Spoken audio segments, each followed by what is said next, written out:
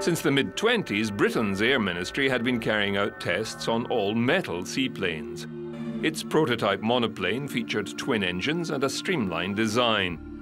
Metal hulls were about 25% lighter than wooden ones, and when the water soakage of a wooden hull was taken into account, the weight saving was even greater. The wooden Cromarty flying boat, built in 1920, absorbed more than 600 pounds of water into her planking after just a few weeks in service. All metal construction also guaranteed watertight joints, making it unnecessary to use a bilge pump to remove excess water.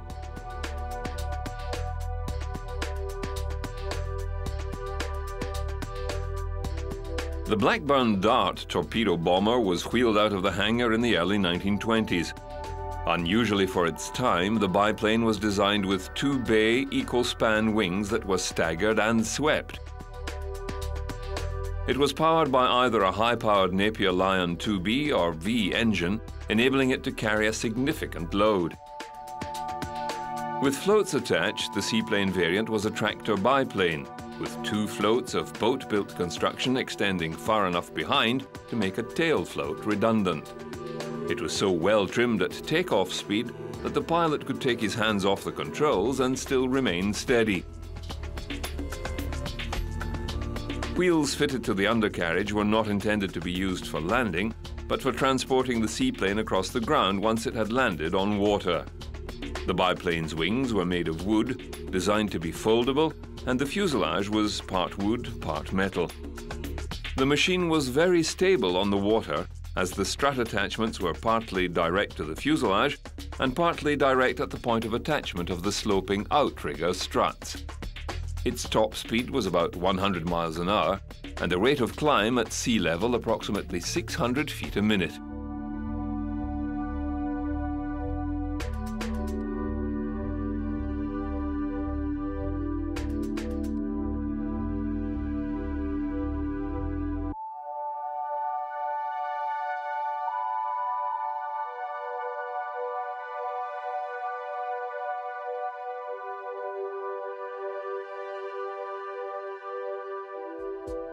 In 1925, English aeroplane designer Reginald Mitchell constructed the Schneider S4 Supermarine prototype.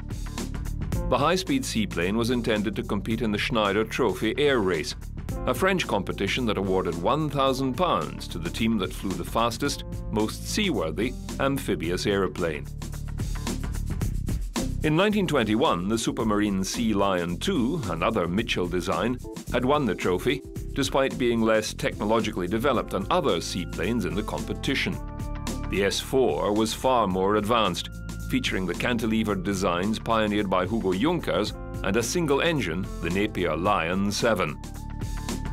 Unfortunately, the S4 crashed and was destroyed during trials in Baltimore. Pilot H.C. Biard survived. But the lessons learned from its development were incorporated into future Mitchell designs, including the legendary Spitfire. Next off the blocks was the Supermarine S5, created for the 1927 trophy race. Mitchell made the wing lower than the S4, and wing surface radiators replaced the Lamblin radiators of the original design. But the Napier Lion engine remained, and S5 racers came first and second in the air race. Flight Lieutenant Webster flew the winning aeroplane at an average speed of 282 miles an hour. Advances in floatplane technology made amphibian planes increasingly popular for passenger services.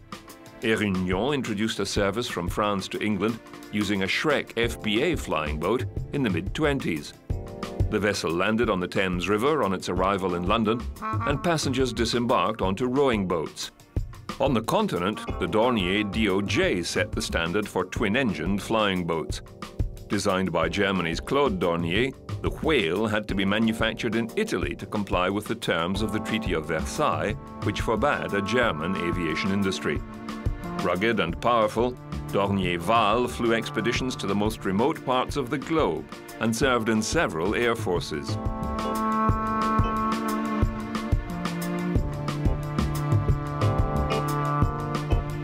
At the smaller end of the scale was the Sea Flea.